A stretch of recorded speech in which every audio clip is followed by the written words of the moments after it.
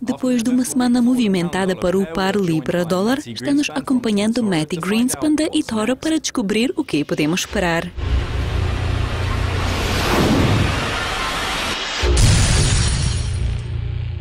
Ontem a Libra experienciou perdas contra o dólar. Acha que isso continuará no curto prazo? Olá, Jack. É um prazer de vê-lo novamente. É uma excelente pergunta. Na verdade, podemos ver que tudo já se inverteu. Aqui podemos ver as perdas de ontem. E hoje de manhã foram lançados os dados PIB do Reino Unido, que foram ligeiramente melhor do que foi esperado.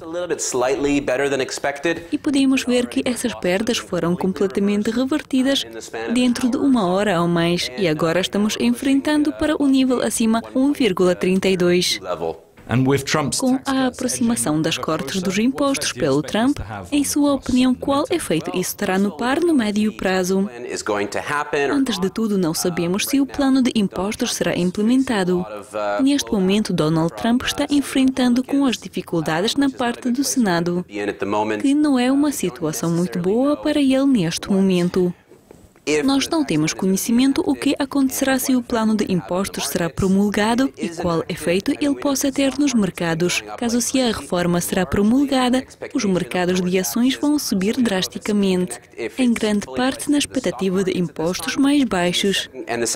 Nós não temos conhecimento se isso está completamente incluído pelos mercados de ações. Em geral, temos conhecimento que o Trump tenta enfraquecer o dólar do yuan e desde janeiro podemos ver que ele tem sucesso nisso. Ele foi capaz de reduzir o dólar a cerca de 12%, o que é um grande movimento para uma moeda. Vamos ver se ele será capaz de continuar a enfraquecer a moeda para aumentar a competitividade do mercado do yuan.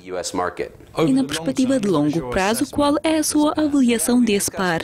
Sim, nós discutimos a tendência de longo prazo na Libra britânica. Na verdade, eu acho que essa foi uma das primeiras perguntas que você me colocou. E a minha resposta permanece mesma. Podemos ver que houve uma enorme queda durante o Brexit. Temos visto baixas de várias décadas na Libra britânica. As suas altas foram de 1,7 e agora estão no nível 1,32. Portanto, isso está incrivelmente abaixo da média para este mercado, especialmente após do referendo Brexit. Caso se o Donald Trump vai conseguir puxar o dólar para baixo e as negociações Brexit vão avançando, certamente existe muito espaço para este par crescer. Neste momento, 80% dos usuários do eToro que estão negociando nesse par de moedas estão focados em longa perspectiva. Então esta é a posição atual. Matty, muito obrigado e obrigado por assistir. Verifique muito mais entrevistas na Ducascope TV.